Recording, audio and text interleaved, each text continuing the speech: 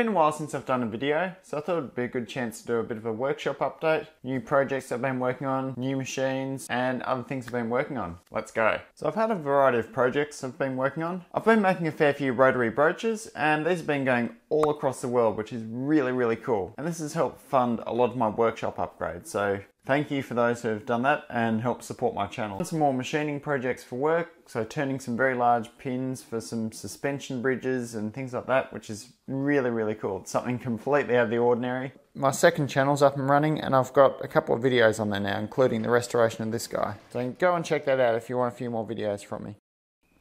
So you might have noticed the new background in some of the shots. I've now insulated and lined most of my machining shop. So the idea is to cut out external noise and also to make it warmer in winter. It should mean more filming opportunities in future. Once I was set on the idea of lining my shed, it sparked a whole chain of activities that had to be completed. I had to build a rack for my ute, so I had a method of transporting timber. And then from there, I needed to get rid of my old mill, so I had a bit more room to move in here. And this is 12 mil thick, so it gives me the opportunity of screwing stuff into it. Apart from my workshop lining and renovations, I've had some additional building work going on at home, so that's been eating up a lot of my time as I try my hand at carpentry effectively. So I've gotten some new tools in the workshop, I've got a new lathe, I've got a new mill, and I've also got a hydraulic press now.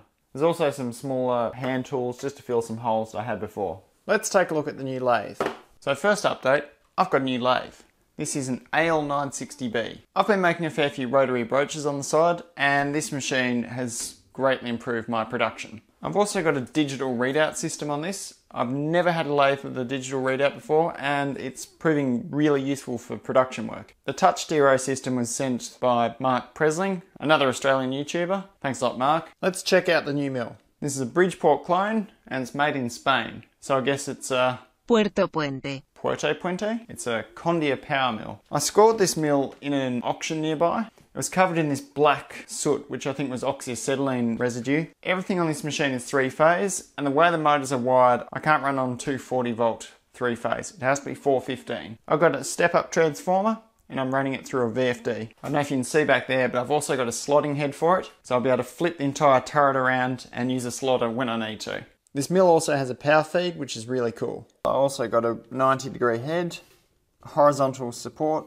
and a horizontal arbor. This machine uses International 30 tapers. Here in Australia, R8 tapers aren't all that common, so I think that's a pretty good system that I've got this. The idea of this thing is I've got a lot bigger work envelope, so I can do whatever I want. And I'll decide if I keep this, the Hercus, or keep both.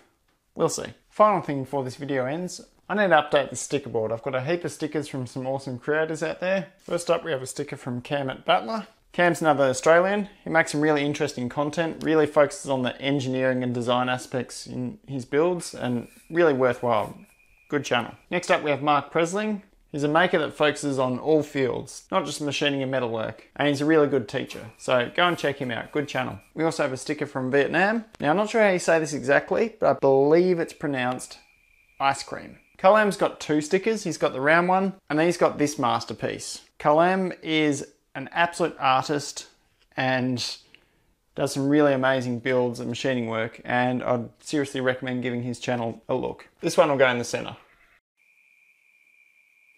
Two final stickers to put up. Got the sticker for this channel and the sticker for my second channel.